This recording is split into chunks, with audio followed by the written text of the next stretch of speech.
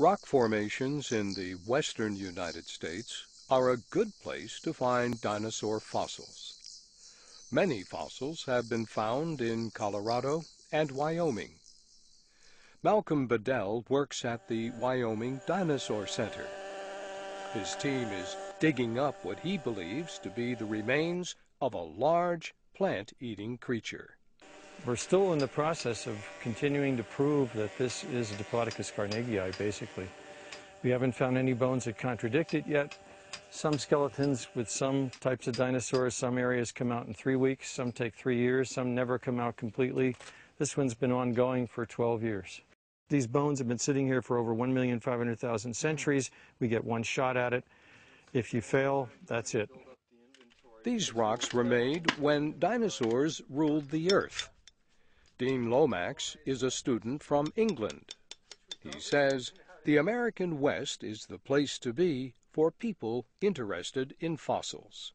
There's so much more. There's so much more uh, fossils to be discovered, and there's so many more actual dinosaur museums and paleontology museums.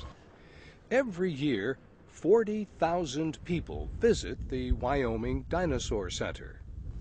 The center has rare treasures like this fossil of a flying dinosaur called Archaeopteryx.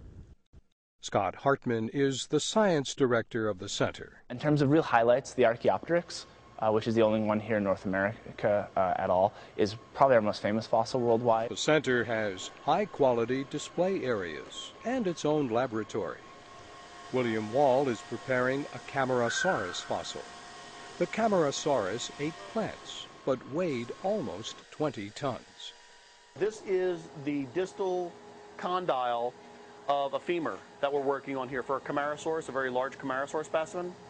And what's interesting about this is as we were prepping on this, we end up noticing that there's a series of very parallel marks across the surface. Those are bite marks from whatever, maybe not the predator that killed this animal, but definitely something that was, was feeding on it. This Camarasaurus bone probably will be shown to the public after it is cleaned. The Wyoming Dinosaur Center has more than 200 displays. I'm Bob Doughty.